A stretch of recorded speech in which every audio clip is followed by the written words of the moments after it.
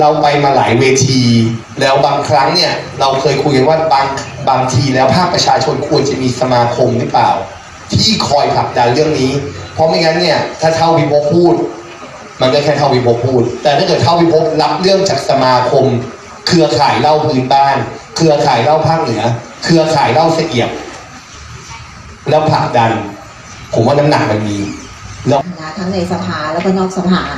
ที่เมื่อกี้บอกไปว่าในสภาเนี่ยเราผลักดันเต็มที่เสร็จจากตรงนี้รับฟังความคิดเห็นภาคเหนือแล้วก็จะไปลงที่อีสานต่อ แล้วจากนั้นตามแผนเนี่ยนะคะที่เราวางแผนไว้เนี่ยก็คิดว่าเราจะยื่นภายในปิดสภาสมัยนี้ก็คือ 28 นะถ้าถ้าถ้าถ้าทันหรือไม่มีอะไรขุกขัดแต่ก็จะพยายามให้มันละเอียดแล้วก็เอ่อรอบครอบที่สุดนะคะถ้าทันก็คือเอาเข้าไปนะเพื่อจะรอคิวนะในการที่จะเอ่อผ่านร่างพรบฉบับนี้แต่ทีเนี้ยการผ่านร่างพรบเราต้องได้รับเสียงเกินกว่ากึ่งหนึ่งใช่ไหมคะของสมาชิกสภาผู้แทนราษฎรนั่นหมายความว่าสมาชิก 500 คนเนี่ยนะคะ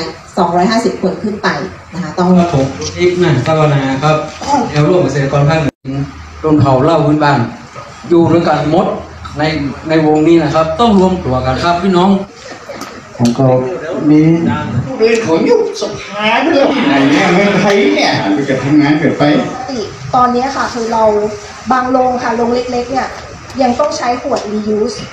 คือขวด reuse ก็เอ่อโรงใหญ่ตอนนี้เขาก็มาติดปั๊มฉลากเขาเป็นบวงข้าว แล้วเขาก็มีเจ้าหน้าที่ของเขาออกมาเตือนเราว่า อย่าใช้ของเขานะถ้าใช้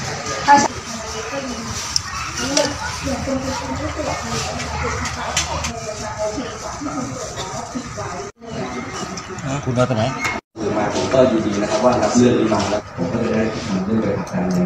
เอาหรือเปล่าไม่ได้ฟ้องเลยครับ